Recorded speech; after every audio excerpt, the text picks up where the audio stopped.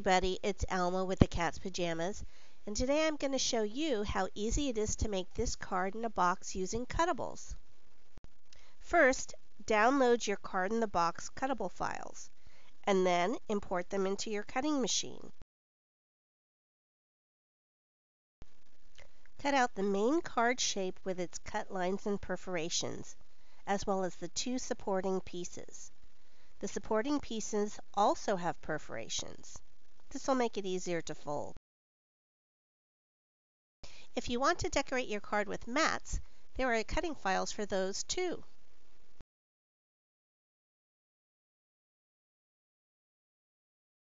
For this card in a box, we're going to be using our Bubbles Happen stamp set. We're going to be using the saying, don't forget to play, as well as the penguin and the bubbles. You can make this card in a box even if you don't have a cutting machine.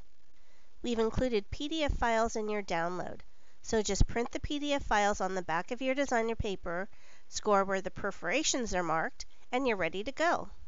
If you're using double-sided paper like I am, choose which side of the paper will be the inside. Then place adhesive on the small side tab. Bring the short side over and fold in half. Fold over the small side tab and crease. Then open the box and fold in half along the other vertical perforations. And there you have your box. Pretty easy. You'll notice that three of the sides have horizontal perforations. Pull the flaps out and fold along those perforations. Leave the back unfolded. Now I think I'm going to do a little decorating. These are the mats that I cut out using the cutable file. And I'll attach them to the flaps that I pulled back. And I think I'll leave the sides as is. The cutable files are great because I don't have to do any measuring.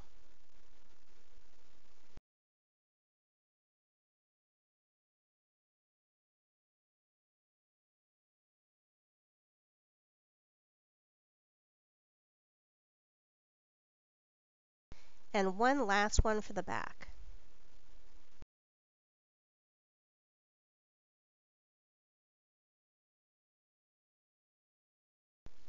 Okay, let's work on the inside. Now take one of the supporting pieces and fold along the perforations. In the instructions that came along with the download, I think I say to do a valley fold and then a mountain fold, but it doesn't really matter.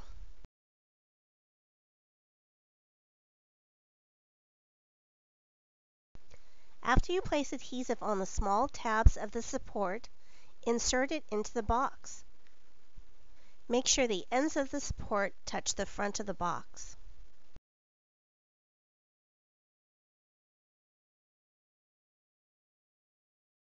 Do the same with the second support, only this time make sure the ends of the support touch the back of the box. These supports will be the place we can attach our decorations to.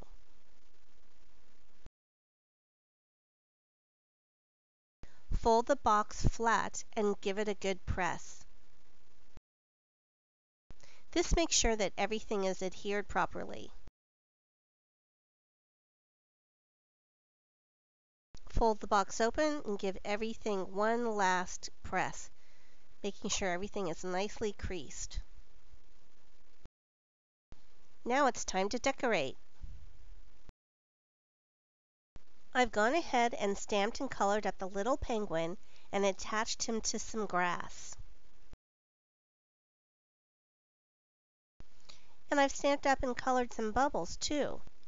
I've placed some small glue dots on the back of the bubbles along with some clouds.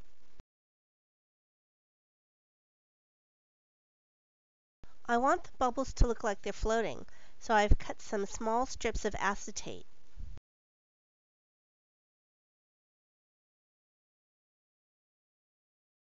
Now I'll attach the acetate to the bubbles. See how cute? They look like they're floating.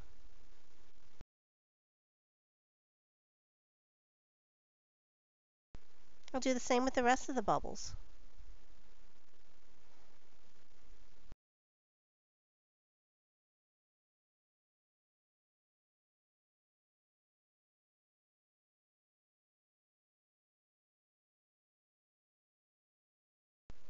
I've stamped the sentiment, don't forget to play, in turquoise on this white banner.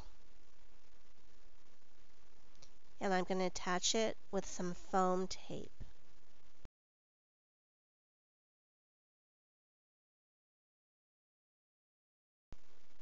Now the penguin. I think he'll look good right here.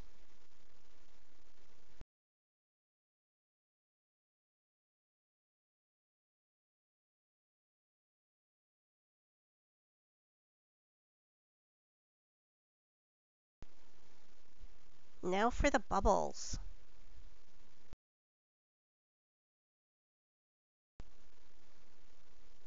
I'll use some glue dots and attach them to the other end of the acetate strip and then attach them to one of the center supports. Oh boy, I just love the way this looks. This box is definitely going to need more bubbles.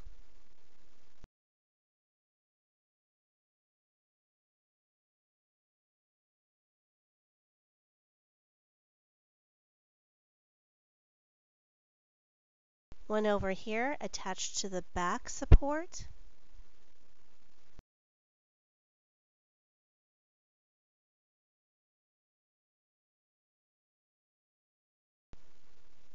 Now for some clouds.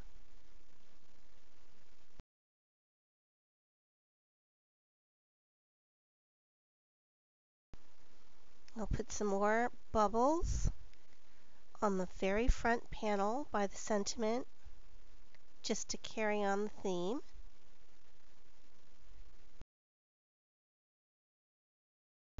You'll notice the penguins and the bubbles are all nicely cut we have a free cutting file available for the stamp set.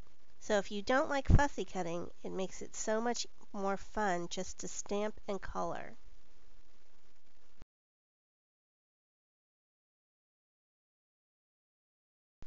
I think this card in a box is almost done, but I think it needs one more bubble right there in front.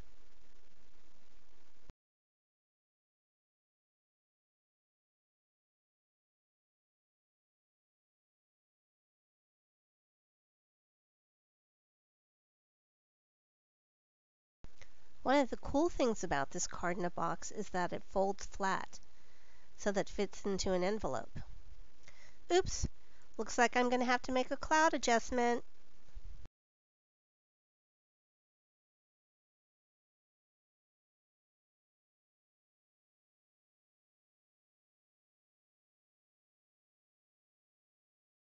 Much better. Any other adjustments?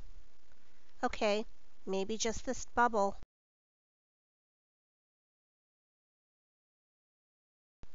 There we go. Perfect. Now when I slip this card in a box in the envelope, I'm going to pull the flaps down so that looks more festive. And I can actually mail this. And it was super easy to make using our card in a box cutable. I hope you give it a try. Thanks for stopping by. Have a great day.